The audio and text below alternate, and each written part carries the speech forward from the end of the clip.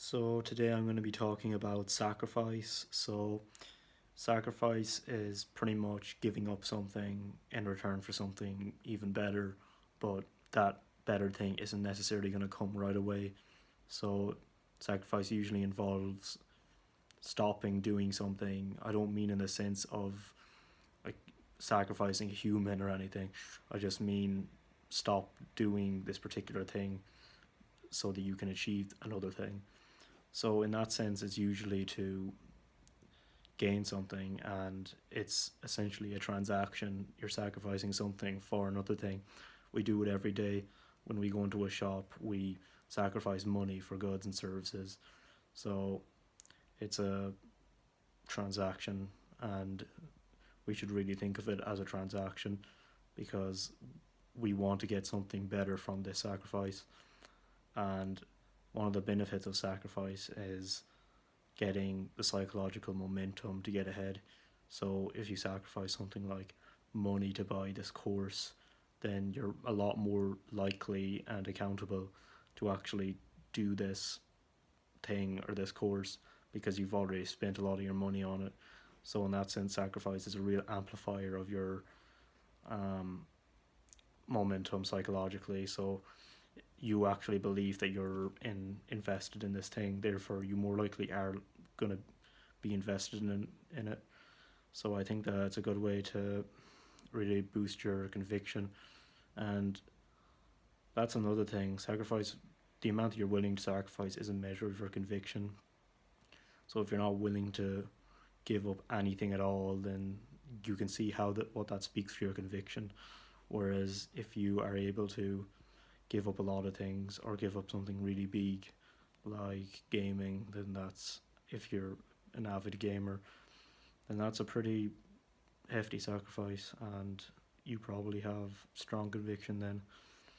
So it's also a measure of your discipline because if you don't continue with the sacrifice and you don't stay off whenever you need to stay off, then you're not going to continue, are you? So your discipline is put to the test when you're um, committing a sacrifice. So yeah, make sure that you have the discipline and the conviction down before you start sacrificing, or making like big gestures that you're going to sacrifice because that way you're going to just doubt yourself more because if you say you're going to do something you're not going to do it it does affect your head and affects your image of yourself so don't make any self um, condemning proclamations or don't tie yourself down to anything yet. Just do what you can, and when the time comes, be brave enough to do it, but don't do it too fast. Don't be reckless, but do it eventually.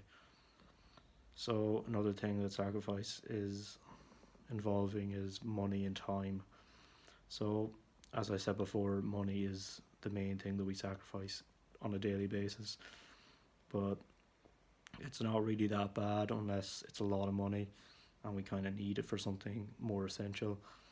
Like, don't gamble if you need to have dinner tonight. Just don't get don't gamble your money away. That would be not a very worthy sacrifice. But if you're sacrificing money for maybe just a bit of money for a donation to a charity or a cause, then that is a worthy sacrifice. So you can be commended on that but not on frivolous activities. And the other th- aspect of this is time. So time is, as we know, our most valuable resource, and we need we need more time. If we don't have time, then we're dead. So we need uh, we need to sacrifice our time wisely and accordingly. So it usually is as easy as it looks on paper. If something doesn't seem wise, then it's probably not. If just drinking alcohol all night is what you do, then that's probably not the best use of your time that you could be using it for. So maybe use it for something better. We know what's productive. We know what we need to be doing. We know that we could go to the gym instead and use that as our time. It's only four or five percent of your day. So use that. Make sure to make time for your sleep. Sacrifice enough time for your sleep because your sleep is one of the cornerstones of your health and if you don't have that then your life just goes down abysmally. So make sure that you have enough sleep at night and you sacrifice enough time to do the things that you need to do. Uh, that way your life will be more fulfilling it'll be more you'll be you'll take yourself more seriously and people will sense that around you and therefore they will take you more seriously as well. So make sure you're willing to um, sacrifice your time on the things that on the times that need to be sacrificed. That it's been happening for many years as well. People have been sacrificing their whole days on their jobs and that's so that they can provide them for themselves or their family or friends. And that's a worthy endeavor i think.